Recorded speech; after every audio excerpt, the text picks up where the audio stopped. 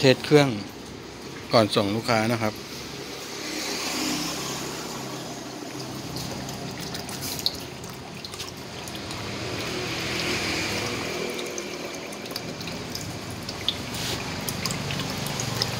ปั๊มน้ำปกตินะครับ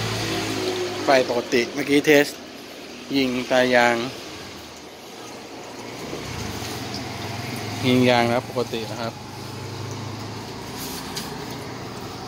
นี้สวิตช์พัดลม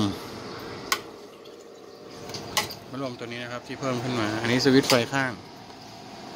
อันนี้ LED อ่าไม่ใช่ LED เป็นอินฟราเรดไฟแดงนะครับ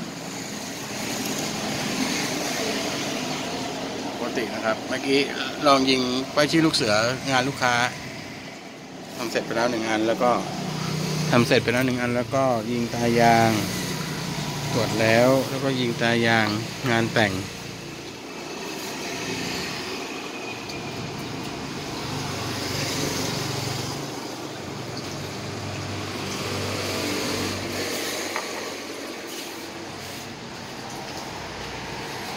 นี่กุญแจสำคัญอย่าให้หายนะครับ ถ้าไม่มีจะเปิดไม่ได้นะครับ นี่กันไม่ให้คนอื่นมาใช้มาใช้เครื่องเรานะครับ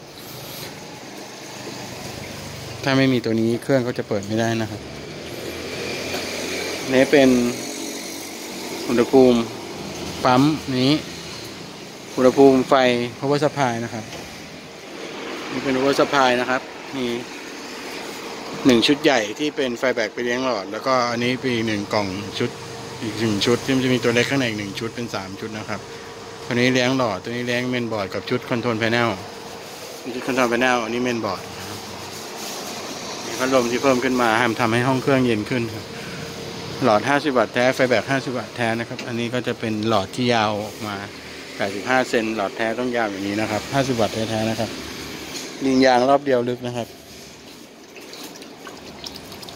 ปั๊มน้ำก็เป็นตัวใหม่ใช้ทนกว่าเดิมนะครับ ก็ระวังเวลาใช้เอาผ้าใบใสๆปิดด้วยนะครับอย่าให้ฝุ่นมันลงฝุ่นลงแล้วปั๊มมันจะตันเร็วก็ทำให้ปั๊มเสียเร็วนะครับ